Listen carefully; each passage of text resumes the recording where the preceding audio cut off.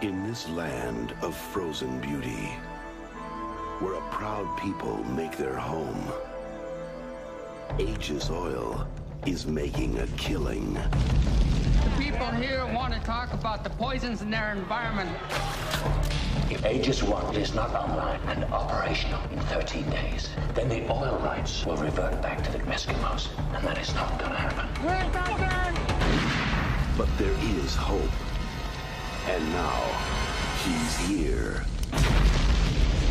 Steven Seagal is on deadly ground. You're an oil man. But I put out the fires. I stop spills. We are being lied to by some of the most sophisticated people on earth. I know we've had our disagreements. How much money is enough? I don't need that kind of problem right now. Get rid of the problem. You mean mercenaries? Now this land has a friend. In you, I've seen a great spirit. These people have a warrior. Did you beat up on this little native man? And this corporation Find me a buddy or find me the man. has a big problem. And who the hell is this guy? Sensei's company. Company? CIA. Whatever he is, he's a damn problem.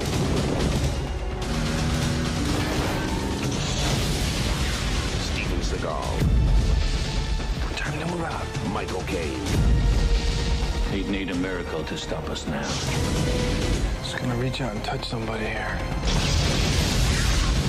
on deadly ground. he was wearing the mask um, to avoid being criticized. I think he was wearing the mask because it skews the scores.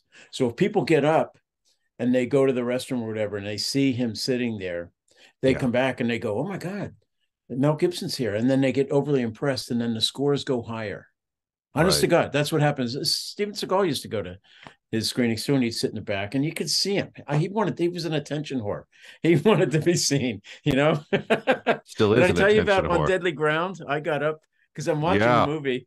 I'm watching the movie, and and he's at that point where he they've already done that that um I knew it shaman stuff with the dance and the TP, and and then he's arming himself. He's getting all the arms together, Yeah. and and I thought, okay, this is a good time to go to the restroom and because uh, I won't miss anything. He's just arming himself, and then the big confrontation will come up. Okay, and then I'm not. Then I don't have to jostle with people when the thing's over. When everybody rushes to the to the men's room. So I so I go up, and he's sitting in the back, and he's like he's like doing this to me, oh, like, Oh, yeah. like you're gonna miss the good stuff. right, right. You That's know? the one he directed, right? With Michael Yeah. Caine as the bad guy. Yeah, there's all the you know, it's funny. You can always go to the restroom at the same time in those movies because they all have the same moment where they like open up like a big five vault and all the weapons are there, and there's like Yeah. the same rhythms and you know, Yeah, you can tell. You can tell from Yeah. the rhythm if you've seen enough of these movies. Mhm. And on this particular one, I had read the script, but I and I'd seen dailies, but I did not. I had not seen a cut version of the movie, so I I I could just tell from the rhythm of it that okay. And it's such a formula. All that stuff is Yeah, it's such a formula. Like, okay, so it usually happens after they think the good guy's been killed. Then he comes Yes. back, heals Yeah. up, gets the weapons, Yeah. shows up to shock the bad guys, usually with a pithy remark that's sometimes Yes. clever. it's the And James Bond formula. Yeah. James Bond, every James Bond is like that.